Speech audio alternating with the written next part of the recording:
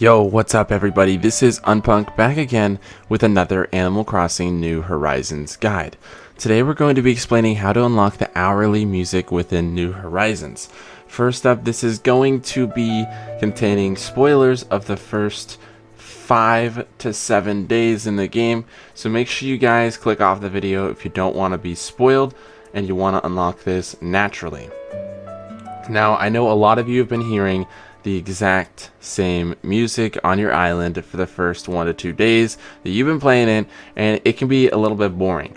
Well, today I got a fix for that and how you can unlock Isabelle and a few other features that come along with what's called the resident services. First things first, this is not, and I repeat not, available to anyone at the time of making this video unless you either had an early review copy or you use time skip to speed up this process. There are a few requirements to unlock what is called the resident services that come along with hourly music, Isabelle, and a few other features. This process, like I stated above, takes between 3 to 7 real-time days to complete, and thus only 2 days into release. It's not possible without manipulating time. The first requirement is going to be unlocking Blathers and getting his tent. The full museum is not required, but I definitely do it along the way. It's not very time consuming.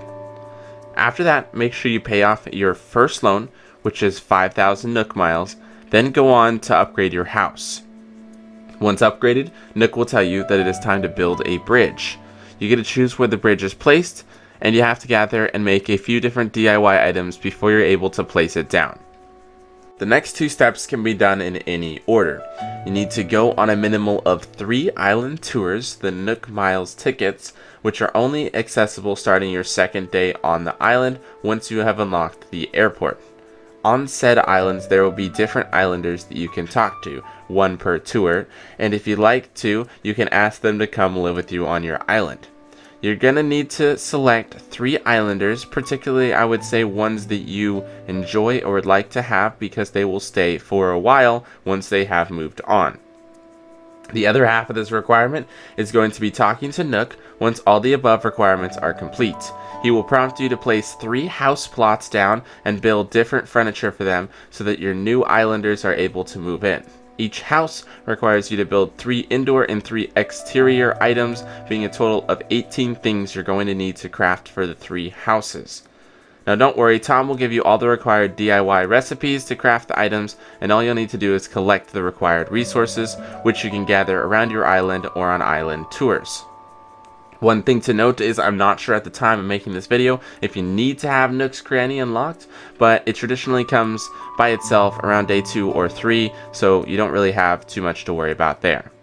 Once you have completed all the requirements I had stated above, the next day, when you get all of your three islanders to move into their new homes, and only once all three move in, you can go talk to Nook and he will congratulate you on a job well done and tell you that in the next two days, the resident services will be upgraded. The first day will be having it under construction, like you see with the museum when it is built, and the second will be when it opens. Not exactly sure why they made it take four to seven days in real time just to unlock some basic features of the game like hourly music, but if you follow this guide, you should have your resident services up and ready to go in no time. Figuratively, of course.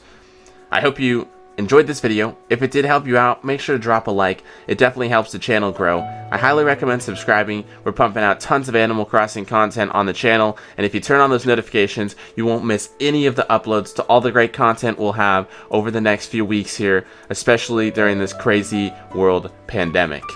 This has been your friendly neighborhood Unpunk. I hope you all have a safe and wonderful time playing Animal Crossing New Horizons, and we'll see you soon. Peace.